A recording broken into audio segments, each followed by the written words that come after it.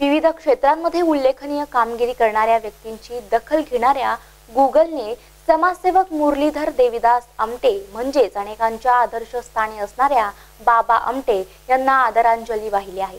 बाबा आमटे यांच्या जयंती निमित्त गुगलकडून सुरेख असं डूडल साकारण्यात आलं आहे. पाहूया त्याची एक झलक.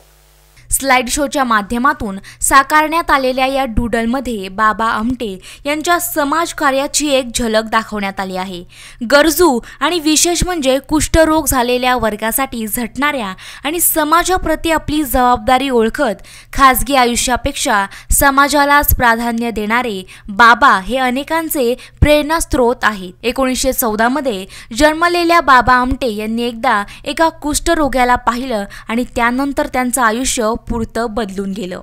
या घटनेनंतर त्यांनी आपलं सारं आयुष्य हे इतरांच्या सेवेसाठी अर्पण केलं. वयाच्या पस्तीसाव्या वर्षी त्यांनी आनंदवन नावाच्या संस्थेची स्थापना करत जनसेवेचा विडा उचलला.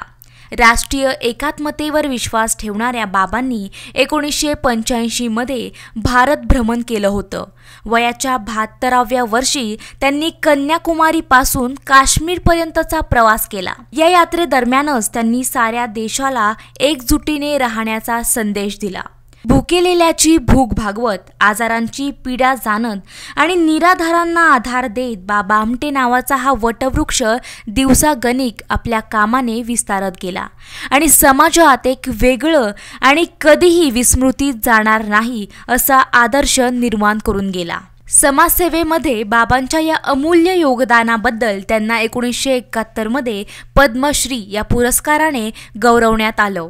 तर एकोणीसशे अठ्ठ्याऐंशीमध्ये संयुक्त राष्ट्रांच्या मानवाधिकार विभागाकडूनही त्यांना सन्मानित करण्यात आलं. तर एकोणीसशे अठ्ठ्याऐंशीमध्ये संयुक्त राष्ट्रांच्या मानवाधिकार विभागाकडूनही त्यांना सन्मानित करण्यात आलं. एकोणीसशे नव्याण्णवमध्ये ते शांती पुरस्काराचे मानकरी ठरले. याशिवाय इतरही बऱ्याच पुरस्कारांनी त्यांच्या कामाची दाद देण्यात आली.